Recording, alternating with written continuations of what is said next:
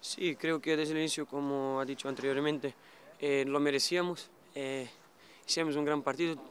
Ah, eh, teníamos, durante el partido teníamos mucho el balón, algo que por veces no, no es posible. Lo teníamos balón con confianza, estábamos jugando bien. y con pura, un poco de, mala suerte, el Villarreal tiene el penalti que, que les ayuda mucho antes de, de mitad de tiempo.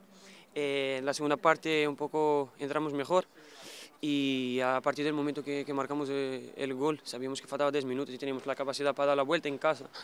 Eh, en nuestro estadio siempre, claro que no hay afición, que, que para nosotros es muy malo, que los echamos de menos, que son muy importantes para nosotros, pero es así, eh, pero sabemos que aquí en Mestalla somos muy fuertes y teníamos 10 minutos para remontar y fue lo que hicimos. Creo que darle enhorabuena a la, equipa porque tiene trabajado muy bien y por veces no ha conseguido los resultados que, lo merece.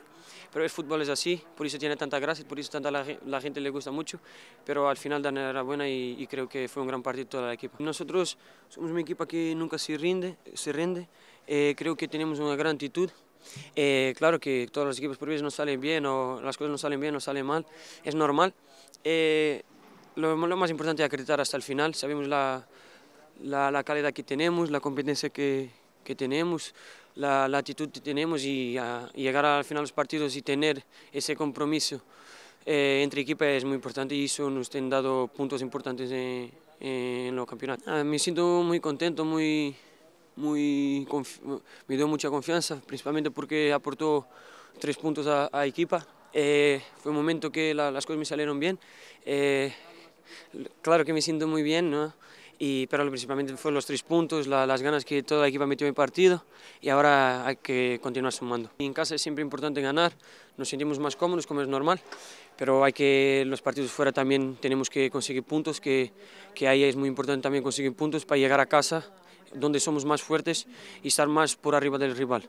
Creo que tenemos que, que planear mejor a los partidos fuera, porque son dos partidos que perdemos una ventaja de dos, tres goles, tres goles creo, y, no podemos permitir eso, pero dentro del equipo, del, del, staff, tenemos que hablar y entrenar al máximo como, como tenemos hecho toda la temporada y las cosas van a, ser, a salir mejor.